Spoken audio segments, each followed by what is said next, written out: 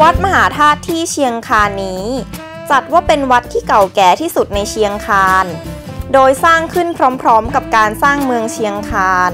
โดยที่ด้านหน้าของวิหารมีภูปแต้ม หรือจิตรกรรมฝาผนังที่เขียนถึงเรื่องพระเวสสันดรชาดก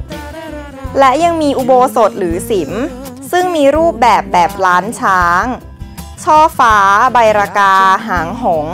และด้านหน้าระเบียง เป็นไม้แกะสลักที่มีความงดงาม คิดเหมือนฉันหรือเปล่า ความเงาแน่นในหัวใจ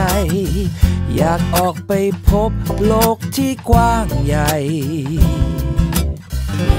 ในวันนี้อยากให้เธอรู้ว่า